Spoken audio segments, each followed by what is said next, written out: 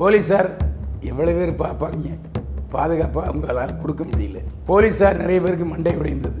இதில் முக்கியமான விஷயம் பத்துக்கும் மேற்பட்டோர் படுகாயமடைந்து அது நெரிசலில் அங்கங்கே அலைபாயங்களில் மிதிப்பட்டு போலீஸார் தடியடி நடத்தியதில் அடிபட்டு கிட்டத்தட்ட பதினைந்து பேர். முன்னால் ஏழாயிரம் ரூபா இருபத்தாயிரம் ரூபா போட்டுப்பாங்க இல்லையா? அந்த தடுப்பை உடைத்து பெருவாரியாக மடை திறந்த வெள்ளம் போல மக்கள் பூந்துட்டாங்க பூந்தது மட்டும் இல்லாமல் மைக்கு மேலே மைக் செட் மேலே இசைக்கருவிகள் மேலே மரங்கள் மேலெல்லாம் ஏறி நின்று ஒரே ரப்சர் தமன்னா மேடைக்கே வரவில்லை. சிரிப்பண்டியர் யோகி பாபு உள்ளேயே உட்கார்ந்து கொண்டார். கலவர பூமியான மாறியதும் எந்த நடிகர் நடிகையிலும் வெளியே வரவில்லை. அப்போது டிவி நடிகை லாட்ஜில் தமன்னாவை ரம்பாவின் கணவர் இந்திரன் கட்டிப்பிடித்து நடனமாடினார். இதுக்கு என்ன காரணம்னா இந்திரன் ஒரு பேட்டியில் என்ன சொன்னார்னா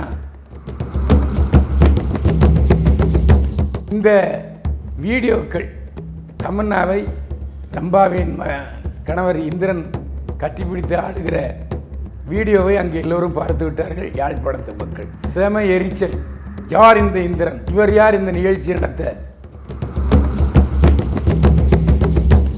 தமிழ் நடிகர் நடிகைகள் இசையமைப்பாளர்கள் போய் செல்கிற நட்சத்திர கலை விழா இசை விழாவில் இவ்வளவு பெரிய வருமானம் இருபத்தையாயிரம் ரூபா டிக்கெட்னு விளையாட்டா?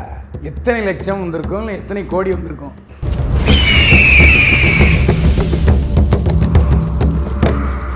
என்னை வாழ வைத்துக் கொண்டிருக்கும் யூடியூப் சேனல் நேயர்களுக்கு நன்றியும் வணக்கமும். அரசியல் கருடன் சேனல் நேயர்களே இப்போ நாம் போகிற பேச போகிற பரபரப்பான தலைப்பு. இலங்கையில் தமன்னா நிகழ்ச்சி பாதியில் நின்றது. பயங்கர கலவரம் வெடித்தது. இலங்கையில் ரம்பா கணவர் ஒரு கல்லூரி ஒன்றை நடத்தி கொண்டிருக்கிறார். அவர் பெயர் இந்திரன். அந்த கல்லூரி வளர்ச்சி நிதிக்காக நடத்தப்பட்ட நட்சத்திர கலை விழாவில் நடிகை தமன்னா நடிகர் யோகி பாபு சிவா மற்றும் தேவதர்ஷினி உள்ளிட்டோர் நடன கலைஞர் டான்ஸ் மாஸ்டர் கலா தலைமையில் போயிருந்தார்கள். கூட்டம் எதிர்பார்த்ததை விட அதிகமாக வந்தது. முப்பத்தையாயிரம் பேர் உட்காருகிற முற்றவெளி மைதானம் அது. ஆனால் திரண்டு வந்த கூட்டம் லட்சக்கணக்கானோர். சமாளிக்க முடியல. இருபத்தையாயிரம் ஏழாயிரம் மூவாயிரம் என்று மூணு விதமாக டிக்கெட்டுகள் விற்பனையாயிருந்தன. மூன்றாயிரம் ரூபாய் டிக்கெட் எடுத்தவர்கள் பகுதியில் கூட்டம் அலை மோதியது. இதனால் முன்னால் ஏழாயிரம் ரூபா இருபத்தாயிரம் ரூபா போட்டிருப்பாங்க இல்லையா? அந்த தடுப்பை உடைத்து பெருவாரியாக மடை திறந்த வெள்ளம் போல் மக்கள் பூந்துட்டாங்க பூந்தது மட்டும் இல்லாமல் மைக்கு மேலே மைக் செட் மேலே இசைக்கருவிகள் மேலே மரங்கள் மேலாம் ஏறி நின்று ஒரே ரப்சர் பத்து நிமிடத்துக்குள் கலவரம் வெடித்தது. போலீஸார் வந்து ரெண்டு மூணு பேரை பிடிச்சி போனாங்க. போலீஸாரையும் ஜனங்க தாக்கி விட்டார்கள். இதனால் பெரிய போலீஸ் அதிகாரி மேடைக்கு சென்று அமைதியாக இருங்கள் தள்ளி போங்க டிக்கெட் எடுத்தவங்க மட்டும் சேரில் உட்காருங்க என்று சொல்லியும் கேட்கவில்லை. நாற்காலிகள் அடித்து நொறுக்கப்பட்டன. தேவையில்லாமல் பலர் நாற்காலிகளை வீசினார்கள். அந்த முற்றவெளி மைதானமே கலவர பூமியாக மாறியது. எல்லோரும் தமன்னா தமன்னா தமன்னா தமன்னா என்று கத்தினார்கள். தமன்னா மேடைக்கே வரவில்லை. சிரிப்பண்டியர் யோகி பாபு உள்ளேயே உட்கார்ந்து கொண்டார். கலவர பூமியான மாறியதும் எந்த நடிகர் நடிகையிலும் வெளியே வரவில்லை. அப்போது டிவி நடிகை ஒருவர் நகைச்சுவை நிகழ்ச்சி நடத்தி கொண்டிருந்தார். கலவரம் அதிகமானதும் அவரும் உள்ளே ஓடிட்டார். அதுக்கப்புறம் டான்ஸ் மாஸ்டர் கலா வந்து சாஷ்டாங்கமாக விழுந்து மன்னிப்பு கேட்டார். அவருடைய மன்னிப்பை யாரும் காது கொடுத்து கேட்கவில்லை. நிகழ்ச்சி பாதியில் நின்றது. ஆனால் நிகழ்ச்சியாளர்கள் தரப்பில் என்ன சொன்னோம்னா நிகழ்ச்சியாளர்கள் நாங்கள் சரியாகத்தான் ஏற்பாடு செய்திருந்தோம். முப்பத்தையாயிரம் பேருக்கு தான் டிக்கெட்டை விற்றுருந்தோம் ஆனால் ஒரு லட்சம் பேர் வந்துட்டாங்க. எப்படி போலீஸ்காரர்கள் சரியான பாதுகாப்பு கொடுக்க முடியவில்லை? லட்சம் பேருக்கு எங்கே அங்கே முற்றவழி மைதானத்தில் பாதுகாப்பு கொடுக்க முடியும்? வேறு வழி இல்லாமல் நிகழ்ச்சி பாதியில் நிறுத்தப்பட்டது. இந்த நிகழ்ச்சியில் மேஜர் என்னென்னா ஹரிஹரனுடைய இசை நிகழ்ச்சியும் அதில் இடம்பெற்றிருந்தது. ஹரிஹரன் ஒரு பாடல் மட்டுமே பாடினார். இதில் காலையில் போய் இறங்கியதும் தமன்னா கடகடகடென்று ஓடி காருக்குள் ஏறிக்கொண்டார். அவரை பார்க்கறதுக்கு விமான நிலையத்தில் ஆட்கள் கூடியிருந்தார்கள். ஒரு கையை கூட காட்டலை. அந்த கோ- கோபம் தமன்னா மீது வெறுப்பாக மாறியது. அது இல்லாமல் லாட்ஜில் தமன்னாவை ரம்பாவின் கணவர் இந்திரன் கட்டிப்பிடித்து நடனமாடினார் இதுக்கு என்ன காரணம்னா இந்திரன் ஒரு பேட்டியில் என்ன சொன்னார்னா நான் ரம்பாவை திருமணம் செய்யவில்லை என்று சொன்னால் தமன்னாவை நான் திருமணம் செய்து கொண்டிருப்பேன். தமன்னா என்னுடைய மானசீக காதலி. தமன்னாவை என்னால் திருமணம் செய்ய முடியாமல் போனதால் ரம்பாவிடம் மாட்டிக்கொண்டேன் என்றார். இதை பக்கத்தில் இருந்து ரம்பாவும் ரசித்தார். இதை நானும் செய்தியில் சொல்லியிருந்தேன். என்னுடைய முதல் மனைவியே தமன்னா தான் என்றார். எனவே ரம்பாவின் கணவர் இந்திரன் தன்னுடைய ஆசையை தீர்த்து கொள்வதற்காகவும் கல்லூரி வளர்ச்சி நிதிக்காகவும் ஒரே கல்லில் இரண்டு மாங்காய் என்று தமன்னாவை மட்டுமல்லாமல் ஹரிஹரன் இசை குழுவினர் தேவதர்ஷினி யோகி பாபு மற்றும் அவருடைய மனைவி ரம்பா எல்லோரையும் இசை நிகழ்ச்சி கூட்டு போயிருக்கார்.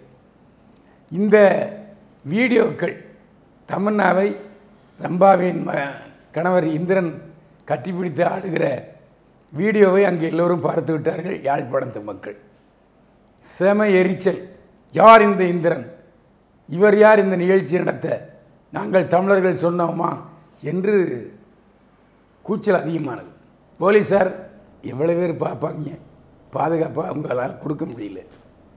போலீஸார் நிறைய பேருக்கு மண்டை உடைந்தது. இதில் முக்கியமான விஷயம் பத்துக்கும் மேற்பட்டோர் படுகாயமடைந்து அது நெரிசலில் அங்கங்கே அலைபாயங்களை மிதிப்பட்டு போலீஸார் தடியடி நடத்தியதில் அடிபட்டு கிட்டத்தட்ட பதினைந்து பேர் படுகாயமுற்று மருத்துவமனையில் சேர்க்கப்பட்டிருக்கிறார்கள். படுகாயம் அடைந்தவுடன் அவர்களை மருத்துவமனைக்கு கொண்டு சொல்ல முடியவில்லை. ஏன்னா அவ்வளோ கூட்டம். அதனால் கூட்டம் ஓரளவு சரி ஒதுங்கிய பிறகுதான் அடிபட்டவர்களை அடையாளம் கண்டு மிதிப்பட்டவர்களை கண்டுபிடித்து மருத்துவமனையில் சேர்க்க முடிந்தது. இலங்கையில் இப்படி ஒரு ரகளை நிகழ்ச்சி இதற்கு முன்னால் நடந்ததே இல்லை. என்பது ஒரு விஷயம். இதில் நம்முடைய ஆராய்ச்சி நிபுணர்கள் அங்கே போய் சென்னதில் என்னென்னா அங்கு உள்ள அரசியல்வாதிகளையோ அமைச்சர் பெருமக்களையோ இந்த விழாவுக்கு கூப்பிடவில்லை. முக்கியமான பிரமுகர்களை கூப்பிட்டிருந்தால் கண்டிப்பாக போலீஸார் தகுந்த பாதுகாப்பு ஏற்பாடுகள் செய்திருப்பார்கள். இந்த நிகழ்ச்சி ஏற்பாட்டாளர்கள் சரியாக போலீஸ் பாதுகாப்புக்கு ஏற்பாடு செய்யவில்லை என்று புகார் கூறப்பட்டது. ஆனால் நிகழ்ச்சி பாதியில் முடிந்ததால் அவசர அவசரமாக எல்லோரும் புறப்பட்டு விமான நிலையத்துக்கு வந்து விட்டார்கள். அங்கேயே இருந்து திரும்ப வருவதற்குரிய ஏற்பாடுகள் செய்யப்பட்டன. இதனால் நட்டம் ஏற்படுவதற்கு வாய்ப்பு இல்லாமல் போனது. இதே போல் இளையராஜா கலந்து கொண்ட நிகழ்ச்சி சில வாரங்களுக்கு முன்னால் சனி ஞாயிறுகளில் நடைபெறுவதாக இருந்தது. பவதாரணி திடீரென மரணமடைந்து விட்டதால் இளையராஜா திரும்பி விட்டார் ஆனால் அந்த நிகழ்ச்சி நடைபெறவே இல்லை ஒத்தி வைக்கப்பட்டதன் காரணமாக இன்னொரு நாளில் ஒத்தி வைக்கப்பட்டிருக்கிறது. ஆனால் இளையராஜா செல்வாரா என்பது தெரியவில்லை. யுவன் சங்கர் ராஜா கண்டிப்பாக செல்வார் என்பது அறிவிக்கப்பட்டிருக்கிறது. இதற்கிடையே இப்படி ஒரு சம்பவம் நடந்ததால் இனிமேல் நிகழ்ச்சிகள் இசை நிகழ்ச்சிகள் நட்சத்திர கலை விழாக்கள் யாழ்ப்பாணத்தில் நடைபெறுமா என்பதும் சந்தேகம்தான். தமிழ் நடிகர் நடிகைகள் இசையமைப்பாளர்கள் போய் செல்கிற நட்சத்திர கலை விழா இசை விழாவில் இவ்வளவு பெரிய வருமானம்? இருபத்தையாயிரம் ரூபா டிக்கெட்னா விளையாட்டா? எத்தனை லட்சம் வந்திருக்கும்? இல்லை எத்தனை கோடி வந்திருக்கும்? இதையெல்லாம் சம்பாதிக்கிறார்களே ரம்பாவின் கணவர் இந்திரன். என்ற பொச்சரிப்பும் அங்குள்ளவர்களுக்கு ஏற்பட்டிருக்கலாம். எது எப்படியோ இங்கிருந்து போன தமிழ் நடிகர்கள் நடிகைகள் இசைக்குழு அவமானப்பட்டு திரும்பியது தான் மிச்சம். ஒரு இரண்டு ஆண்டுகளுக்கு முன்னால் தமிழ் நடிகர் நடிகைகள் இலங்கைக்கு செல்லக்கூடாது என்று நடிகர் சங்கம் தடை விதித்திருந்தது. அதுக்கப்புறம் ஒருவர் இருவர் அப்படியே போய் போய் போய் இப்போ பெரிய நிகழ்ச்சி என்று இப்போது தான் நடந்திருக்கிறது. அதற்குள் அங்கு உள்ளவர்கள் வெடித்து விட்டார்கள். நீ வரமாட்டேன்னு இல்லை. இப்போ ஏன் வர்ற? அப்படிங்கிற ஒரு உள்ளுணர்வு கோபமாக எதிரொலித்திருக்கலாம்.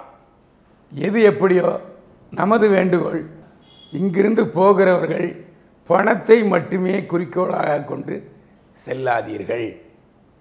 அங்கு அமைச்சர்கள் வருகிறார்களா? தகுந்த பாதுகாப்பு கொடுக்கப்பட்டிருக்கிறதா என்பதை உறுதி செய்யப்பட்ட பிறகு போங்க. இல்லைன்னா இப்போ தப்பிச்சோம் பிழைச்சோன்னு ஓடியாந்துருக்கீங்க உயிருக்கு ஆபத்து ஏற்பட்டால் என்ன செய்வீர்கள்? யோசிச்சு பாருங்க. இலங்கை ஏற்கனவே ஒரு கலவர பூமி.